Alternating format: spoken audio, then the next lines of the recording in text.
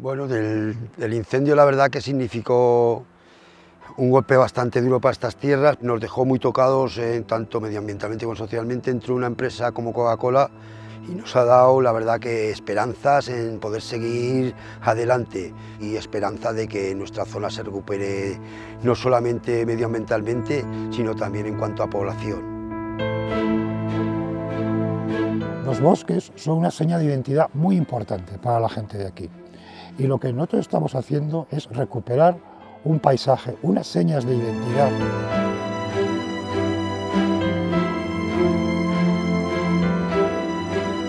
Plantando agua nace del compromiso de Coca-Cola de devolver a la naturaleza el equivalente del agua que embotellamos.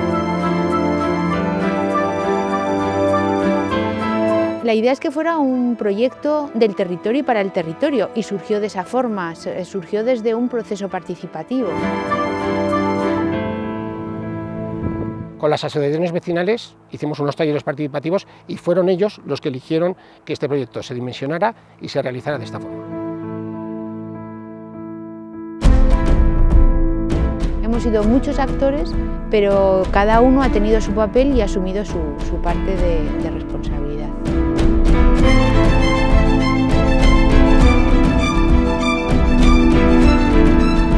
Plan director es un conjunto de directrices y de medidas de actuación para reconstruir estos montes.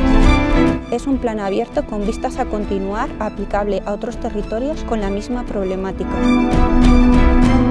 Bueno, hemos introducido una variedad de especies amplia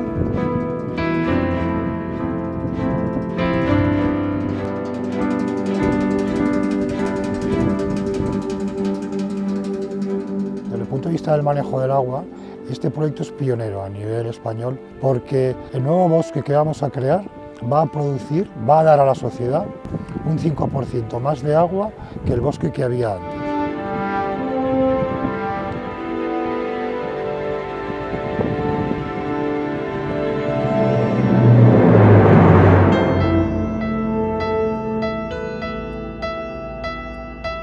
El compromiso de Coca-Cola con el agua sigue más vivo que nunca, pero no sería posible sin la actuación coordinada de todos los agentes públicos y privados que intervienen en este tipo de proyectos.